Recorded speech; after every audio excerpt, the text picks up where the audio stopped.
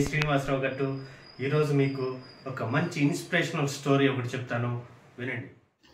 చిన్నతనంలో ఆ అబ్బాయి సైన్యంలో చేరాలనుకున్నాడు. దేశానికి సేవ చేయాలనుకున్నాడు. కానీ విధి మరొకటి తలచింది.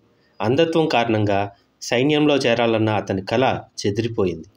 కానీ అతను ఆగిపోలేదు. దేశానికి సేవ చేయడానికి మరో మార్గం ఎంచుకున్నాడు. క్రికెట్లో అడుగుపెట్టి అద్భుతాలు అందుకున్నాడు. కెప్టెన్గా దేశానికి ప్రపంచ కప్పులు అందించాడు. అతనే అజయ్ కుమార్ రెడ్డి. అర్జున్ అవార్డుకు ఎంపికైన మొట్టమొదటి అంధ క్రికెటర్గా చరిత్ర సృష్టించిన ఏపీలోని గురజాలకు చెందిన అతని ప్రస్థానం స్ఫూర్తిదాయకం. నాలుగేళ్ళ వయసులో ఓ ప్రమాదంలో అతని ఎడమ కన్ను దెబ్బతింది. పన్నెండేళ్ళు వచ్చేసరికి కుడి కంటి చూపు కూడా మందగించటం మొదలైంది అని అజయ్ కుమార్ రెడ్డి చెప్పాడు.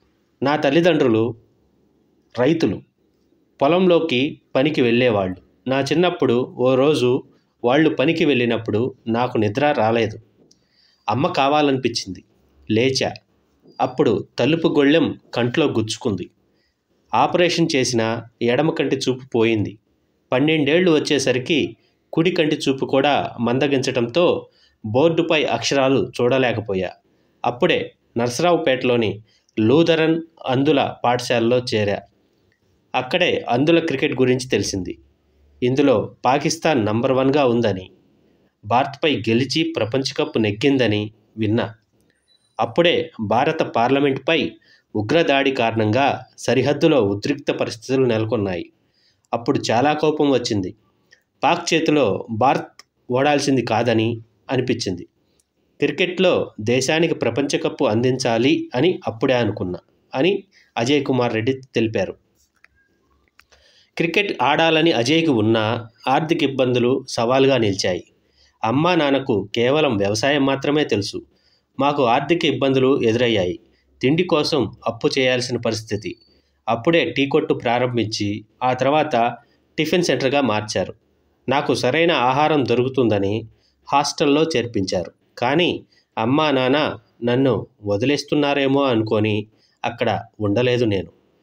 మా హోటల్లో వారికి సహాయం చేసేవాడిని కప్పులు కడగడంతో పాటు దోశలు వేసేవాడిని కానీ సరిగ్గా లేని కంటి చూపు కారణంగా తడబడటంతో కనపడ కనపడడం లేదా నీకు నువ్వేమన్నా గుడ్డివాడివా అంటూ జనాలు తిట్టేవాళ్ళు. కానీ క్రికెట్ ఆడాలనే పట్టుదల ముందు ఇవేమీ నన్ను బాధించలేదు. ఆటపై పట్టు సాధించి రెండు వేల పదిలో భారత్ తరపున అరంగేట్రం చేశా. టీ ట్వంటీ ప్రపంచ కప్ గెలిచిన జట్టులో ఉన్నా. కానీ ఇది కొత్త ఫార్మేట్ కాబట్టి అదృష్టం కలిసి వచ్చి గెలిచారు అని వన్డేల్లో తామే నంబర్ వన్ అని పాకు ఆటగాళ్ళు ఎగతాళిగా మాట్లాడారు. అందుకే రెండు వేల పద్నాలుగు వన్డే కప్పు ఫైనల్లో పాక్పై విజయాన్ని నా జీవితంలోనే అత్యుత్తమ సందర్భంగా చెప్తా అని అజయ్ తెలిపారు. ఆ తర్వాత అజయ్ కెప్టెన్గా భారత అందుల జట్టును ఓ వన్డే ప్రపంచ కప్పు రెండు టీ ట్వంటీ ప్రపంచ కప్పులు ఓ ఆసియా కప్పులో విజేతగా నిలిపాడు. మేం చాలా ప్రపంచ కప్పులు గెలిచాం కానీ గుర్తింపు రాలేదు. అప్పుడు అర్జున అవార్డు రావడం నా వ్యక్తిగత ఘనత కాదు. ఇది అందుల క్రికెట్కు దక్కిన గుర్తింపు. భారత్కు ఆడితే మ్యాచ్కు మూడు వేల రూపాయలు వస్తాయి కానీ మాలో చాలామంది డబ్బు కోసం ఆడడం లేదు. దేశాన్ని గర్వపడేలా చేయటం కోసం ఆడుతున్నారు. కానీ మాకు ఆర్థిక మద్దతు కావాలి. ఇప్పుడు నా కంటి చూపు మరింత తగ్గుతుంది. చికిత్స కోసం చూస్తున్నా. చికిత్స విజయవంతం అయితే బీ టూ విభాగంలో ఆడతా. లేదంటే బీ వన్కు మారాల్సి వస్తుంది. కానీ మరణం వరకు క్రికెట్లోనే ఉంటా. క్రికెట్టే నాకు అన్నీ ఇచ్చింది అని ముప్పై మూడు ఏళ్ళ అజయ్ పేర్కొన్నాడు.